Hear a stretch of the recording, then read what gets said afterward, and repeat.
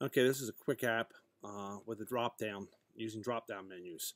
On this drop down menu, I want to return uh, red car, blue car, so you can see when I dragged out a drop down box here and I named it drop down one and then I gave the options here red car, blue car, green car, black car.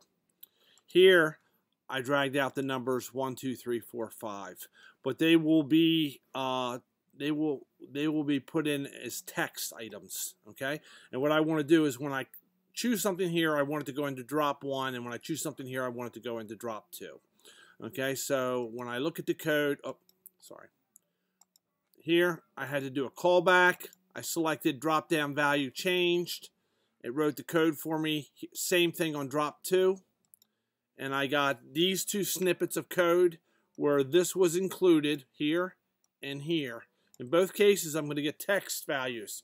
So in the first case, I want to get the car. So I got app drop one edit field dot value equals the value. So I'm just transferring the string that it got into that box next to it. In this case, I want this to convert the value from a string to a number and drop it into a numerical edit field. Let's run it.